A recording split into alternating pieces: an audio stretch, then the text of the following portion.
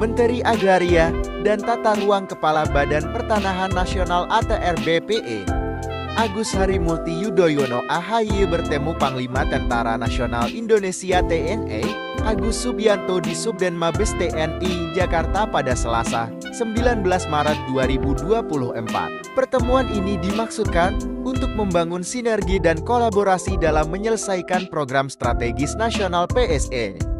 Salah satunya Ibu Kota Nusantara EKIN. Selain itu, dibahas pula upaya percepatan pendaftaran tanah yang berkaitan erat dengan TNI, seperti sertifikasi aset TNI dan juga 111 pulau-pulau kecil terluar di Indonesia. Hal ini berguna untuk menjaga kedaulatan teritorial Republik Indonesia. Turut hadir mendampingi Menteri AHY, Wakil Menteri ATR Wakil Kepala BPE, Raja Juli Antoni, Sekretaris Jenderal Kementerian ATR BPE, Suyus Windayana, Direktur Jenderal Penanganan Sengketa dan Konflik Pertanahan, Iljas Tejo Prijono, serta staf khusus Menteri Bidang Manajemen Internal, Agus Jovan Latukonsina.